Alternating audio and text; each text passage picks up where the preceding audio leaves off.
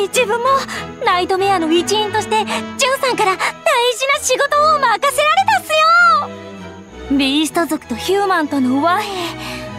それができればみんなの平和に大きく一歩近づくっす。自分も和平大使として頑張るっ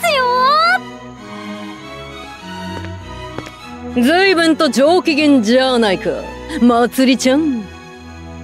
ギリギリククリスティーナおばさん。私も今回和平大使として任命されてな。まつりちゃんに同行することになった。よろしく頼むよ。よりによって一番争いを起こしそうな人が来ちゃったぜよ。はあもう。これで本当にビースト族と和平なんてできるんすか？私の華麗でタフな交渉術を見るがいいさ。相手を言いなりにするのには慣れている。だから平和的に仲良くするために活動するんすよ。次回トライバルスピリッツ。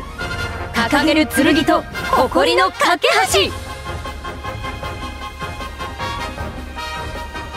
橋。何？私は約束は守る女だよ。万事このクリスティーナさんに任せておけ。そその言葉信じるすからね